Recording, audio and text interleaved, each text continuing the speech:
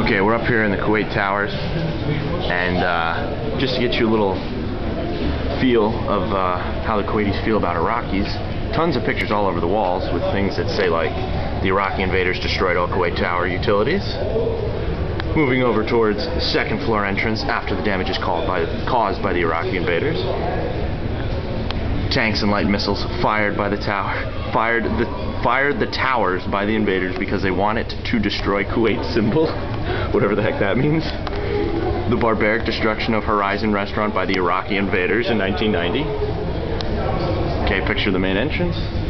The Iraqi, this actually says the Iraqi innators. I don't know if you can see that. The Iraqi innators made beautiful Oasis Garden a dead land.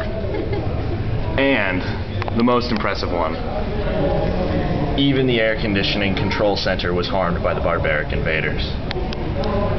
What do you guys think? Pretty barbaric. Yeah, very barbaric. Very barbaric. There's Kuwait City. If you can see it with the sun.